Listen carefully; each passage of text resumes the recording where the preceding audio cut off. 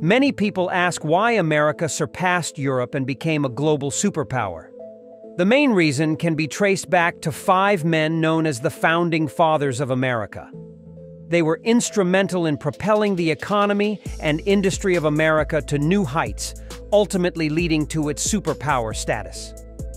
When we look at the billionaires of today, we see that most of them have accumulated their wealth through technology, such as Elon Musk or Jeff Bezos.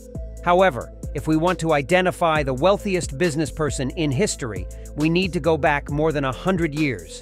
We need to look at a wealthy individual who, despite passing away around a century ago, still remains unmatched by any contemporary capitalist. This is the story of the Standard Oil Company, which was not an ordinary company but rather had the largest monopoly in the world. Standard Oil did not always possess such immense power. It gradually acquired it over time. Let's go back to 1839 when a boy was born in New York, and his name was John. John D. Rockefeller was the eldest son of William Rockefeller, who owned an apothecary in Richford, New York. John's father had multiple wives and children with each of them. However, after a while, he abandoned all of his wives, including John's mother, and took all the children to live with a woman named Nancy Brown, forming an unconventional family. Whenever John asked his father for money, his father would say he didn't have any. But John wanted to have his own money, so he would work for the neighbors and earn some cash. When John turned 15, his father decided to relocate the family to Cleveland, Ohio. Since John had a taste for money, he didn't like going to school and believed it would waste his time. That's why he dropped out of school at the age of 16 and started looking for work. His first job was as a clerk in a small office, earning a meager salary of 50 cents per day, which would be approximately 14 Don dollars in today's rate. He worked there for two years, and despite outperforming adults, he didn't get a raise because he was still considered a child. He worked there until the age of 18, and then he declared that he would no longer work for others. He used the money he had saved took a loan, and opened his own office. Entrepreneurship was in his blood from a young age, as he knew how to make money even at a young age. He would buy products from farmers and sell them to stores. In 1857, at the age of 18, through these transactions, he made sales of $500,000, of which approximately $50,000 could be considered profit. In Cleveland, Ohio, everyone knew John, an 18 year old kid who excelled in business and everyone acknowledged his abilities. One year after these events, in 1859, the first oil well in America was discovered near John D. Rockefeller's office. Oil was found, but it didn't have much value at the time because there were no machines, and this oil was not very useful. The best use they had for oil at that time was to convert it into kerosene and use it in lamps for lighting. John became interested in the oil well that was discovered near his office and wanted to know what could be done with this oil. He gathered and read all the news and writings about oil, and John concluded that oil itself didn't have much value. The valuable thing was the products that could be obtained from it. At that time, the valuable product was white oil.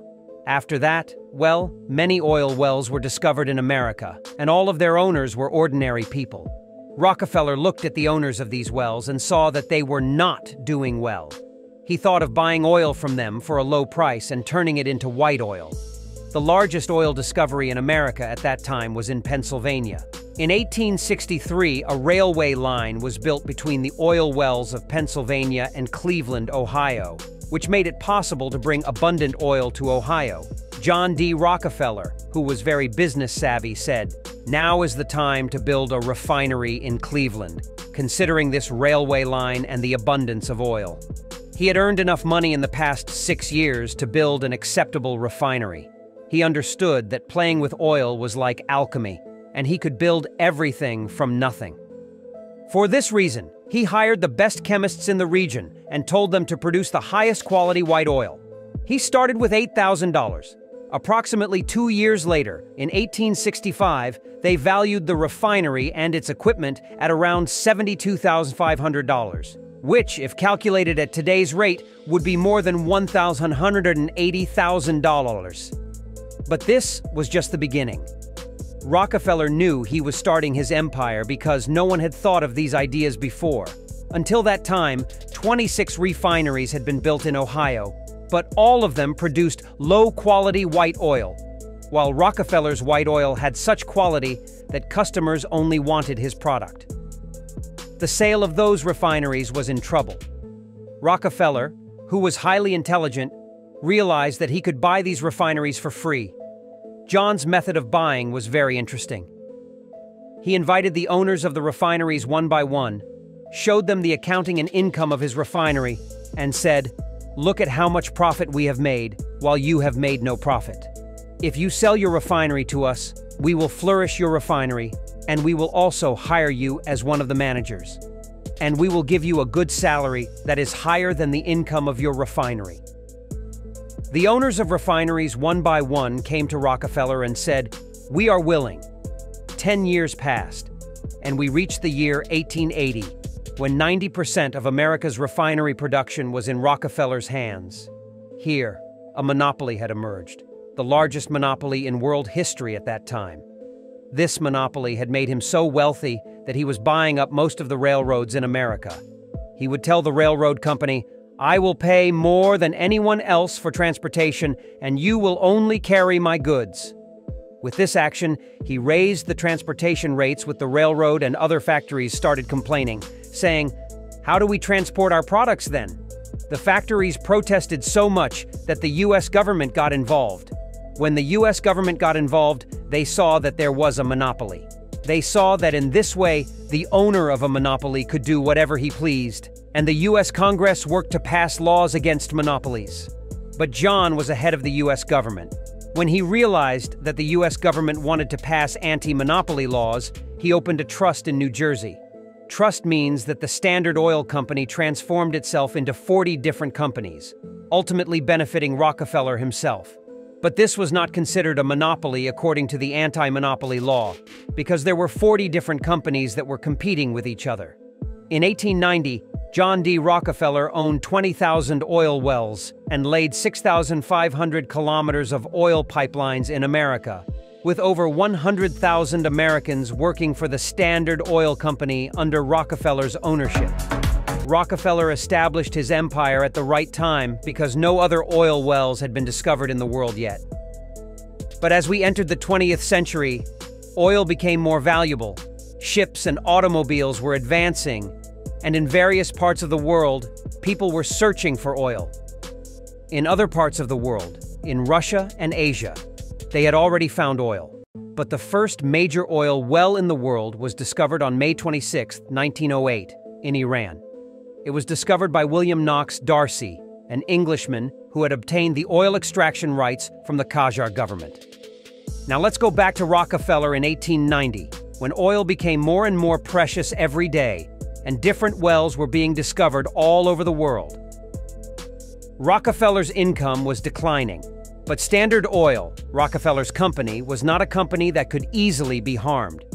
In 1890, Standard Oil was worth $1 trillion in today's currency. Rockefeller had gained so much power in America that he wasn't worried about oil being discovered elsewhere or having competitors. He had so much money that he was lending it to the U.S. government. He continued to grow his wealth until the end of his life. When John D. Rockefeller passed away in 1937, his fortune was estimated to be over $400 billion, earning him the title of the richest businessman in the world at that time. Currently, according to the statistics from Forbes magazine, Elon Musk is the richest person in the world with an estimated wealth of over $219 billion. On July 30, 1863, a boy was born in the city of Springwells, Michigan. His name was Henry. Henry's father was a farmer during a time when farming was one of the most laborious occupations. Without the modern tools we have today, they had to work hard from morning till night in the fields, hoping to harvest a crop if it wasn't affected by pests. As Henry grew up, he witnessed the hardships his father endured, and his heart ached for him. As a result, he developed a strong aversion to farming. Despite his father being a farmer and Henry himself having to engage in farming, he knew that there was a better opportunity waiting for him near nearby, and it was improving day by day. You should know that the city of Detroit, located 12 kilometers from Henry's village, was the most important industrial city in America. It was the birthplace of the Industrial Revolution in America. Being close to this city exposed Henry to industries and technology. At the age of 12, Henry became so interested in technology that he wanted to be involved in technical work. For example, when a neighbor's clock broke, he said, I can fix it, even though he had no idea how it worked. He just had the desire to open it up and see how it was made.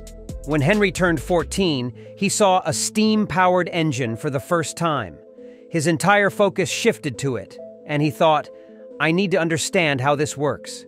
He tried to get a job at the railroad to learn how steam engines worked on locomotives. He approached the Railroad Administration many times, but they told him he was not of legal age and couldn't be given a job. They said, Come back when you're 16. However, when Henry turned 16, instead of going for a job at the railroad, he went to work for a mechanic who repaired these engines. In 1880, when Henry was 17 years old, he encountered something fascinating.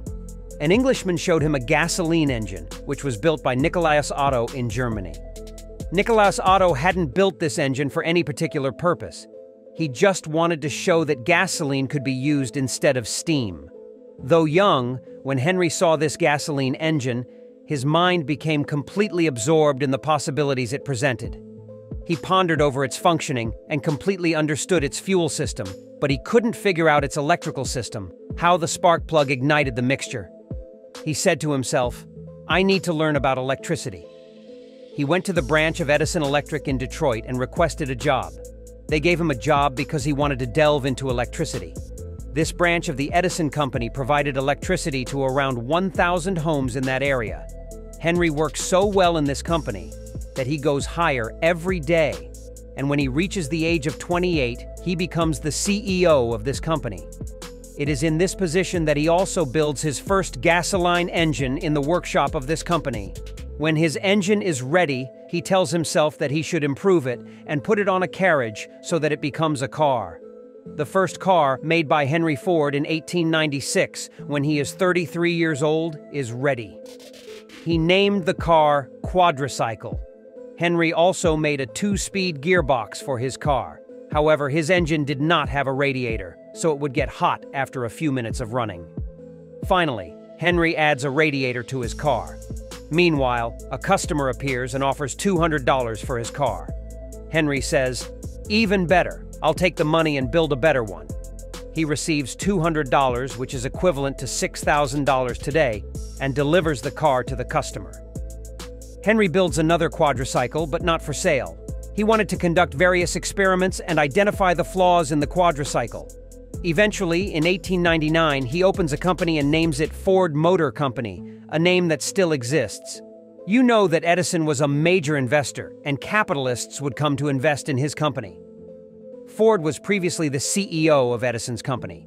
That's why all the investors knew him until they found out that he had started this new company. They said, Hui, we will go to his company and invest because we know the person behind it. And he starts producing quadricycles in his factory, but things don't go well. For two years, everyone works, but they can only produce 20 quadricycles. Henry wonders why it takes so long. How can we increase our production? The company was not profitable in this situation. So many investors asked for their money back. The investors took their money one by one, which not only put the factory to sleep but also caused the factory to go out of business. After that, Henry became poor again. You know that successful people never give up easily. Despite his poverty, Henry was always thinking about how to start a factory that could have high production. Henry thought about what to do with paper and pen, how to produce a successful car. He designed a car that was better than the quadricycle, at least on paper. But as he designed the car, he also thought about the concept of an assembly line. These designs and thoughts by Henry Ford led to one of the most important inventions of the 20th century, the assembly line, which did not exist until that day. When we reach 1905, Henry gathers himself and launches another factory. A factory where the assembly line is created. Just one year later, in 1906, 300 people work on this assembly line and 25 Ford Model T, cars are produced every day. If it weren't for the invention of the assembly line, it would not have been possible. The assembly line was working. However, Henry was not satisfied. He said it should be better and faster. In the same year, 1906, Henry does another important thing. He opens another company called Ford Engine Company, which specializes in producing engines and gearboxes. He no longer had to get engines or gearboxes from someone else. This move by Henry Ford increased the speed of the assembly line and made the cars cheaper because the longest time they wasted was waiting for parts from the assembly line. Ford said, I want to produce a car that ordinary people can buy because until then, cars were for the wealthy and kings. In 1908, the first Ford Model T emerged in the following manner a hassle free and affordable car. Because it was intended to be cheap, it was only produced in black. Ford succeeded in creating a car that everyone could afford. The Model T, introduced in 1908, had a price of $850. When the Model T was unveiled and people saw its picture in the newspapers, they attacked the company. Within a week, they placed 25,000 orders. The demand was so high that they couldn't deliver all of them in the first year, but they managed to deliver around 17,000. When Henry Ford realized the success of his idea, he set up another, much larger factory with a bigger production line. Henry Ford's vision was to make this production line faster and more efficient.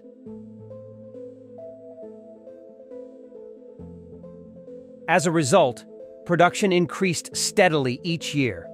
By the time we reached 1910, they were delivering over 20,000 Model T cars. However, only six years later, in 1916, Ford was producing 500,000 Model T cars per year.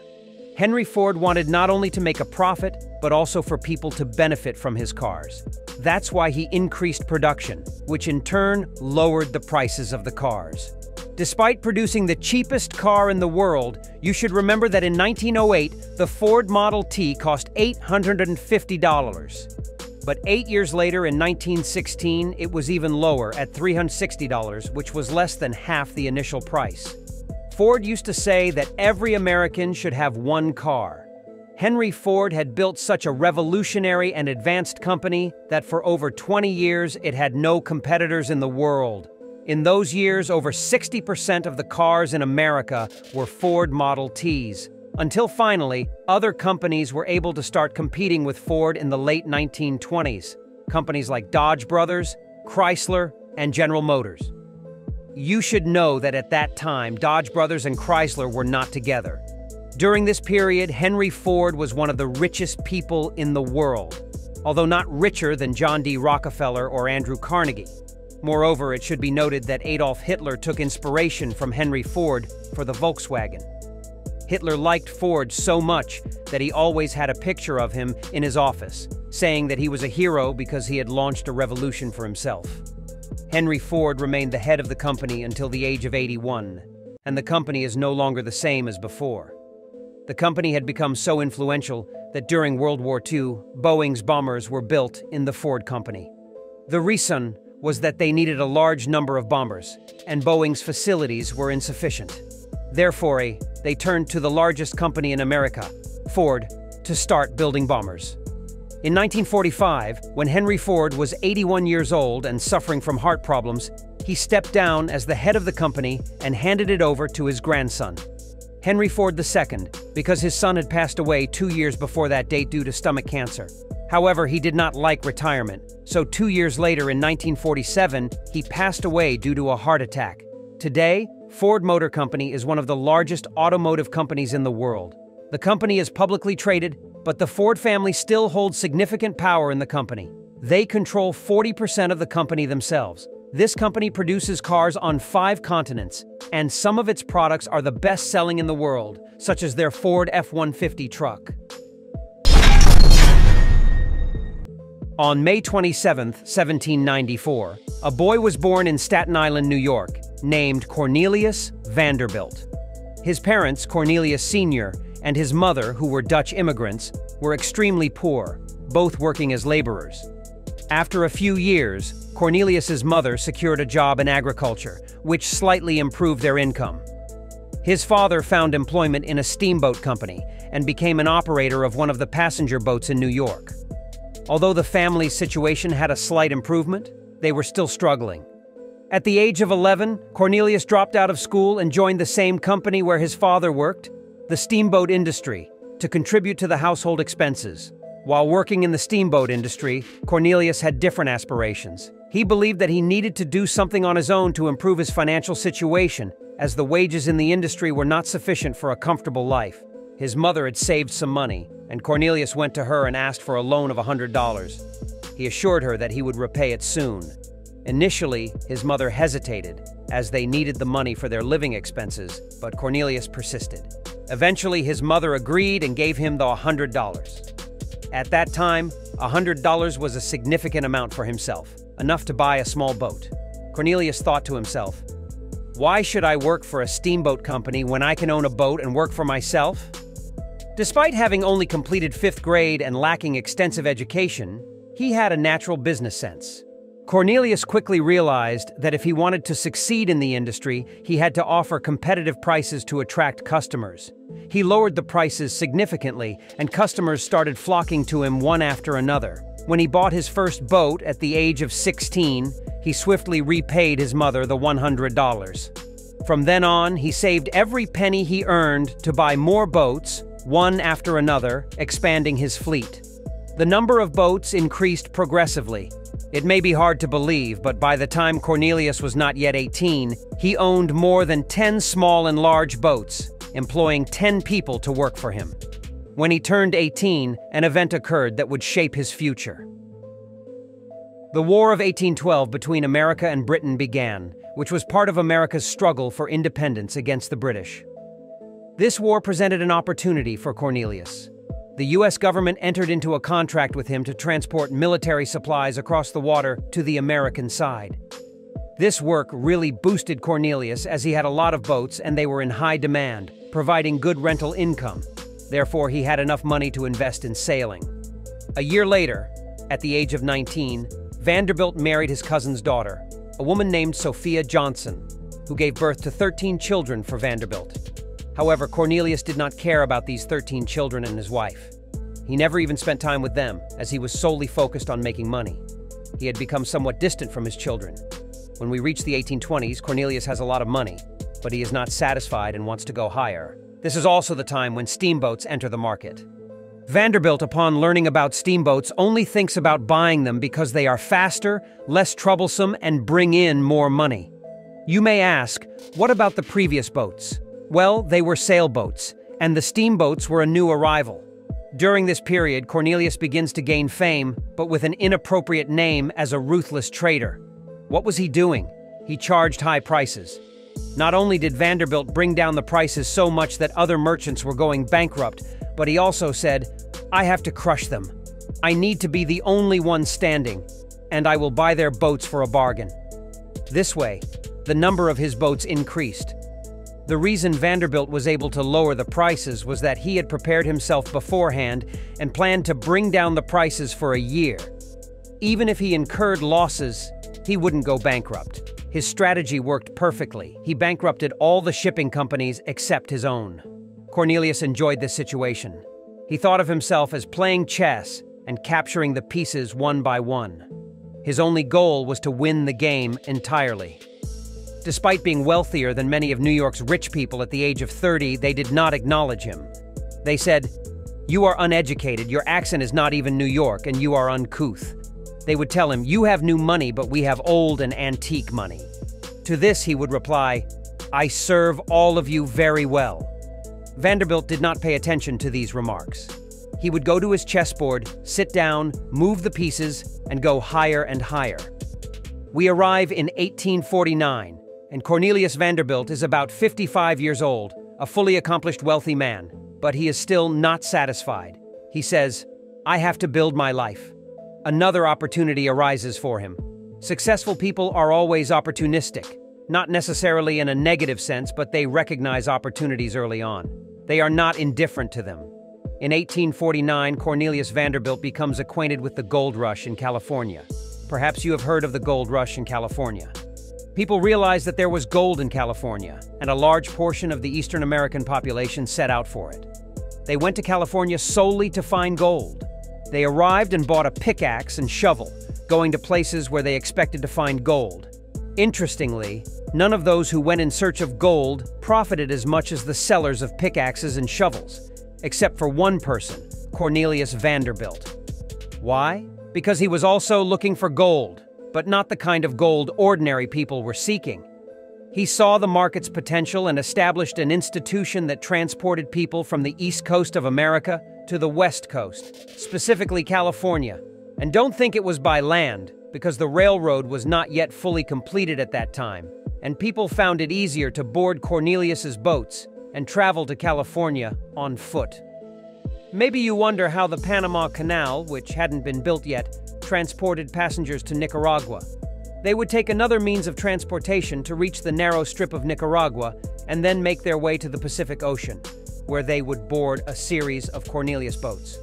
These boats would carry them to California. Cornelius set sail for gold. It was the largest transportation project in American history.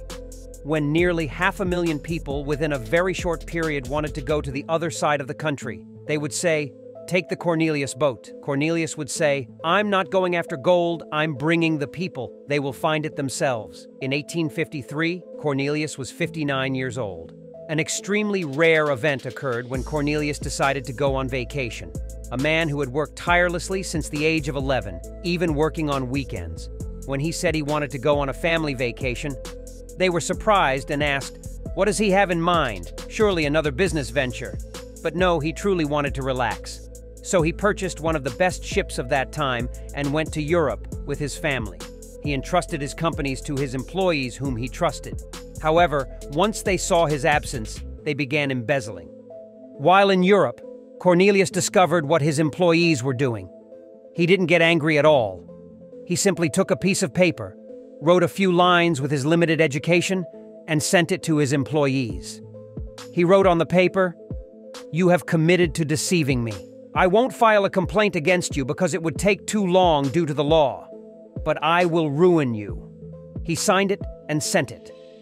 To reduce his taxes, Vanderbilt had moved his headquarters to Nicaragua, those who embezzled in his company were all in Nicaragua, despite being Americans. He destabilized Nicaragua to seek revenge against his employees. With his influence over the surrounding countries, Vanderbilt told them not to recognize the government of Nicaragua because it was not a legitimate government. He even provided evidence that confirmed this, which led Nicaragua to gradually descend into instability and even internal conflict. All the employees who had stolen Vanderbilt's money were trapped in the midst of the Civil War. So, the letter that Vanderbilt had written to them with just four words became a reality. Many people, when they turn 60, start thinking about retirement. But Vanderbilt was the opposite. He wanted to expand his capital. When Cornelius turned 60, it seemed like his mind became a bit more active. He focused on a newly emerging mode of transportation, the railroad, and interestingly, he realized the revolutionary impact this means of transportation would have. He put all his boats up for sale when they were at their peak value. He would sell the boats at high prices and invest the money in railways. He always wanted to have exclusive ownership of everything and wanted to enter every sector. He wanted to have full control. Vanderbilt launched a railway company and started operating on the railroad tracks. At that time, there were small private companies that had, for example, two trains and operated on the railroad tracks. Cornelius caused the same disaster for these trains as he did for the steamboat captains. He lowered the prices so much that they went bankrupt and he bought their trains for next to nothing. Vanderbilt's railroad empire was on the rise, even though he started his railroad business after the age of 60. However, he made most of his money through the railroad. Cornelius Vanderbilt lived until the age of 82, until 1877. When he passed away, the New York newspapers reported that he had a fortune of hundred million. You might say that it's not much considering that billionaires exist today, but $100 million at that time was equivalent to over $200 billion today. Of course, you cannot say he had as much money as Elon Musk. $100 million at that time was one ninth of all the money in America. So you can't even compare it to $200 billion. Interestingly, when Vanderbilt died, he had more money than the U.S. Treasury. Vanderbilt had divided his wealth before his death. He had 13 children. but the one he loved the most was William Henry Vanderbilt. That's why he bequeathed 90% of his wealth to William and 10% to the other 12 children. He even wrote in his will that the other 12 children do not deserve this money and he will not help them. He will only bring their destruction. Despite being known as a ruthless businessman, Vanderbilt is recognized as one of the men who built America. On November 25, 1835, a boy named Andrew was born in Dunfermline, Scotland. Andrew Carnegie is known as one of the builders of America, along with men like Henry Ford or Cornelius Vanderbilt. The Carnegie family was extremely poor. His father worked in a textile factory and barely earned enough to survive. He made life very difficult for him. The Industrial Revolution began, and instead of prospering, it became even more difficult for Andrew's father to earn an income. Things got to the point where, in 1848, Andrew's father sold his entire life. He bought travel tickets to America for his entire family, and with only 20 pounds in his pocket, they boarded a ship and went to America. When they arrived in America, Andrew's father realized that if they went to the city of Pittsburgh, Pennsylvania, they could find work and provide shelter for themselves. However, Pittsburgh had its own problems. He couldn't make enough money to live comfortably. Andrew continued to see his father struggling, so he decided to drop out of school and said, I want to work too. He was hired by a telegraph company to deliver telegraphs on his bicycle. Andrew was so intelligent that at the age of 17, he could read and memorize telegraph codes. When a Pittsburgh businessman named Thomas Scott saw how well this boy was doing his job, he said to him, Come work for me, and I'll pay you a good salary. He offered him $35 a month, whereas at the telegraph office he was only earning 20. Now we come to the year 1861, the year the Civil War broke out in America. Andrew he was making progress in his work when the US government said he had to serve. Andrew Carnegie, who was making progress in his work and didn't want to leave it, managed to arrange $850 for someone else to go in his place. That amount was equivalent to $28,000 today, a considerable sum at the time. During that time, there were only wooden bridges in America's valleys, and the enemy would immediately set them on fire so that the army forces couldn't advance. Andrew heard this news and sat down to think about what could be done. He realized that if he transformed those wooden bridge structures into iron, the problem of fire would be solved. He immediately got to work and established a company called Keystone Bridge Company. He regularly procured iron and converted the bridges into iron ones. The business was going so well that he ended up buying an iron smelting factory. He produced the iron needed for the bridges himself. Carnegie's iron smelting expanded rapidly, reaching a point where he not only produced iron for bridges, but also for other purposes such as railways and construction. A few years before this date, in 1856, a person named Henry Bessemer invented a method for steel production. Steel had been invented before, but its production was difficult and complex, making it very expensive. However, Bessemer's invention made this process much easier. In 1865, when the American Civil War ended, Carnegie decided to move his company's headquarters to New York because he believed he could grow further there. Despite the fact that New York improved his business, he always wrote in his memoirs that the people of New York were charlatans and couldn't be trusted. Carnegie used Henry Bessemer's invention in his iron smelting and started producing steel, which transformed New York into what it is today. These were the first skyscrapers in the world and were made possible by the steel produced by Carnegie's company. You should know that Henry Bessemer had made this invention years ago, but the first person to give importance to this invention and say it was feasible was Andrew Carnegie. Before him, people said this invention was impossible. Carnegie, he established the world's first steel factory. Andrew's initiative was to hire the best engineers and architects to ensure the highest production in the shortest possible time. He also utilized this initiative in the automotive industry, just like Henry Ford did. However, at that time, Henry Ford had not yet come into the world. Andrew Carnegie was ruthless in his work, saying that they didn't have time to idle the workers. Therefore, they worked more than 10 hours a day 364 days a year in the factory. Not everyone could be fired. However, they had one day off per year, which was the 4th of July, the day of American independence. Even Christmas and New Year's Day were not holidays. He even wrote in his memoirs that he wished workers were like machines because machines don't need to sleep for eight hours a day. Carnegie became extremely wealthy. The newspapers also praised him, saying that he cared for his workers and helped the poor, among other things. Despite dropping out of school, Andrew Carnegie had extensive knowledge and knew everything about steel. His steel customers didn't have much education, so Carnegie used new vocabulary. For example, he would say that his steels had a special quality and used a specialized name that the customers couldn't understand. In a way, he was selling his steels with a certain exclusivity, and it worked. Not only were the buildings and bridges made with Carnegie's steel rising high, but he also became the biggest customer. Andrew Carnegie produced railways and most of the railroad tracks. If you remember Cornelius Vanderbilt, known as the most ruthless businessman in history, you know that he brought prices down and paralyzed his competitors, buying their companies at a lower price. Carnegie had the same approach but his competitors were steel makers. He produced such high-quality steel and brought the prices down that other companies couldn't compete. And one by one, they sold their factories to Carnegie. Although he grew bigger every day, he didn't care about his employees, and this lack of consideration towards the workers eventually led to strikes. But it is now 1892, and Carnegie is a billionaire. He is one of the richest men in the world, so he doesn't pay attention to the strikes. He doesn't value his employees at all. He didn't even prioritize safety measures in the factories, resulting in 9% of the factory workers being killed on the job every year. This was a terrifying figure even for that time. And this happened while Andrew Carnegie would give interviews with newspapers, saying that the workers in his factories should be better taken care of. But he never took any action himself.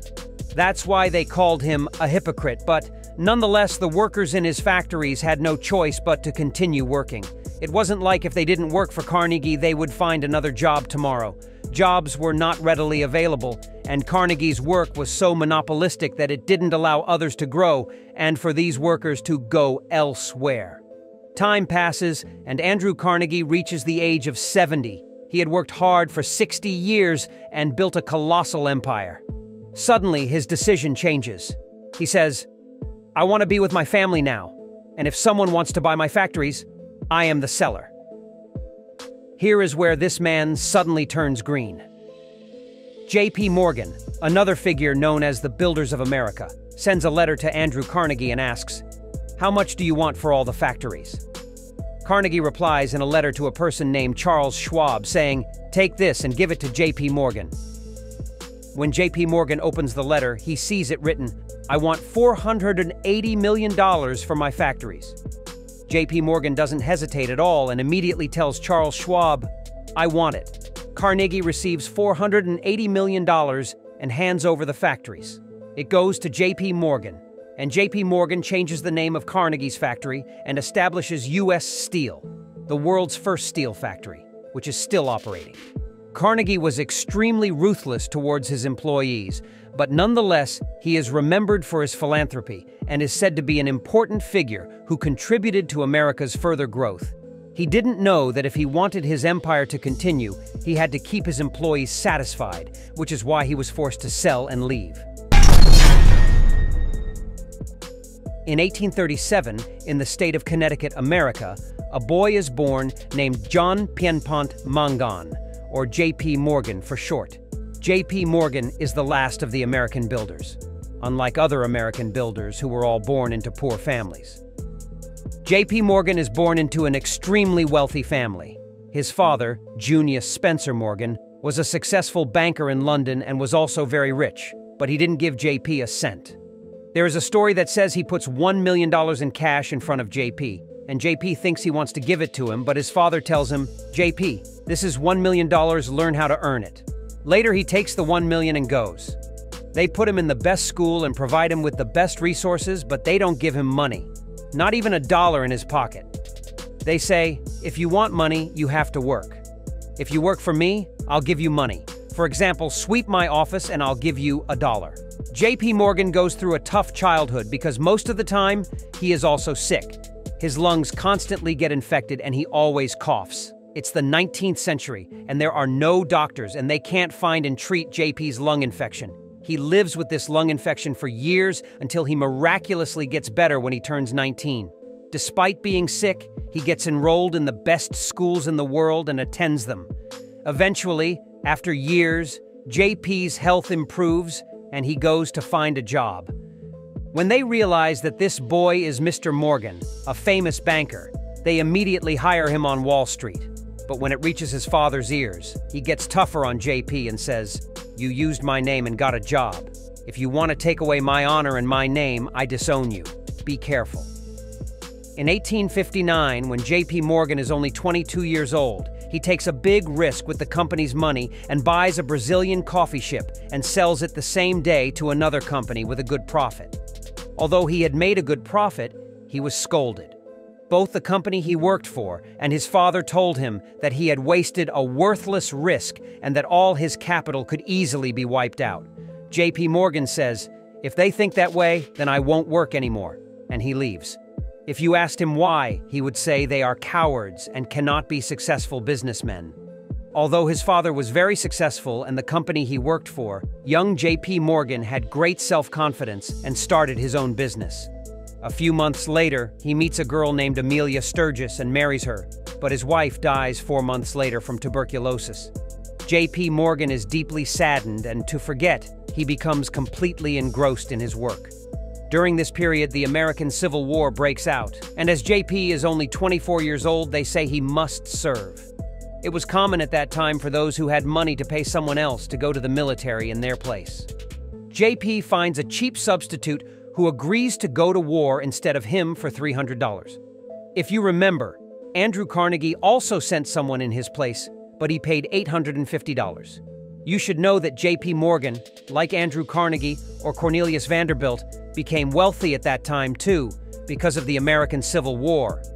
For example, one thing J.P. Morgan did that made him rich was buying old and obsolete army weapons for $350 each and then giving them to a company for refurbishment. Then he would sell them to the government for $22, making a good profit in the process. He made a profit of 600%, but he realized that if he produced these weapons himself, the government would need ready to use weapons, and he could easily sell them. In 1871, J.P. Morgan is now very wealthy, but his father is still not satisfied and says, You still have a long way to go before you gain my experience. This remark made him strive harder to surpass his father. That's why he approached a successful American banker named Anthony Drexel and said, Let's establish a large private bank together. They built a bank called Drexel, Morgan & Co., which still exists today, although its name is Chase, and it is still called JP Morgan Chase. From this year, 1871, the JP Morgan empire begins to rise, and from then on, he is constantly moving up. During this time, most industries in America are monopolies. For example, oil is in the hands of Rockefeller, steel is controlled by Carnegie, and railroads and shipping belong to Vanderbilt. But Vanderbilt only accepts investors. The others say, no, we have our own money. J.P. Morgan. He pours a lot of capital into the Vanderbilt Railroad Company. During this period, Vanderbilt has aged and become much larger than J.P. Morgan. At that time, all the affairs were in the hands of Vanderbilt's son, William. However, William did not possess his father's talent, and two years after his father's death in 1879, his shortcomings led J.P. Morgan to make the largest investment in the American Railroad, taking control of the entire American West in his own hands. If Cornelius Vanderbilt were alive, he would not have allowed J.P. Morgan to do this. He would have done it himself. William made a move that would diminish Cornelius Vanderbilt's monopoly and give one third of the power of the American Railroad to J.P. Morgan.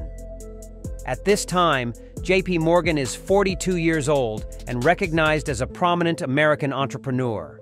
However, his father always said, No, you are not capable of doing such a thing. Maybe he was proud of his son deep down, but he never showed it. He would talk to his son like this Look at this picture of J.P. Morgan. It has been edited because he always said, I have an ugly face and my jaw is very large. Retouch my jaw in the photo and then publish it in the newspapers. J.P. Morgan. At that time, he was considered one of the tall figures. You should know that in the 19th century, people were shorter, with an average height of 1.65 centimeter, while J.P. Morgan's height was 188 meters. At a time when there were no telephones, telegraphs, or Skype, wealthy individuals would always talk face to face, and when two people discussed an important matter, their appearances had a significant impact. J.P. Morgan, with his 188 centimeter height, had a captivating and terrifying appearance, a face with determination.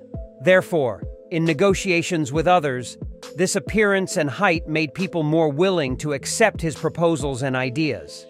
This can be seen in politicians as well, especially in the past.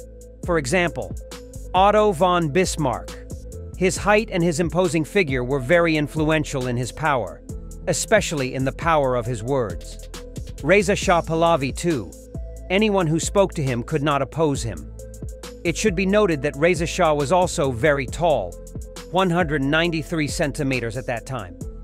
Bismarck was the same height as Reza Shah Pahlavi, 193 centimeters. In summary, we want to say that in the past, physique, height, and appearance had a significant impact on a person's persuasive power. During this time, when J.P. Morgan learned that a person named Thomas Edison was doing something interesting, he conducted some research and quickly went to invest and develop his work. When J.P. Morgan started his collaboration with Edison, the Edison Electric Company was nothing. But after this collaboration started, it grew day by day, and it was with J.P. Morgan's capital that Edison succeeded in electrifying the first city in America, namely Manhattan, New York. Of course, Tesla played an important role in this progress as well, but they didn't give him anything. Since JP Morgan was the main investor in the Edison company, he told Edison to change the company's name. Instead of Edison Electric, let's call it General Electric, a colossal company that still exists. We mentioned earlier that Andrew Carnegie, at the age of 70, said he wanted to be with his family. If anyone buys my steel factories, I will sell them immediately. Who bought them instantly? JP Morgan. JP Morgan gave $480 million to Carnegie and said, go be with your family. Interestingly, years later, JP Morgan said that if Carnegie had asked for $580 million, he would have bought it. JP Morgan changed the name of Carnegie Steel to US Steel, which still exists today. It is not only the world's first steel company, but also the first billion dollar company in the world. We come to the year 1893 when a major recession occurs in America. People give away all their dollars and buy gold, causing not only the devaluation of the US dollar, but also the collapse of stocks and the economy of the United States and the world. Here is where a great opportunity arises, and an opportunist wants to seize it. J.P. Morgan was that opportunist. He realized that he could offer to the U.S. government and prevent the bankruptcy of the U.S. economy. He buys $650 million in gold bond loans from the U.S. government, which, as you know, was a staggering amount in 1893. This move by J.P. Morgan saved the U.S. economy, but also multiplied his own power and capital several times over. Many opposed this and said it was not right for a banker to save the government and that a capitalist should not have such influence. J.P. Morgan gained significant power, and people strongly opposed him, saying, What does it mean for a capitalist to have so much influence? It's like being the ruler of the country. But J.P. Morgan was not alone. He also had Rockefeller on his side. This was the time when the power of capitalists surpassed that of the government for the first time. J.P. Morgan was the last person to be recognized as one of America's builders, completing the video of America's builders.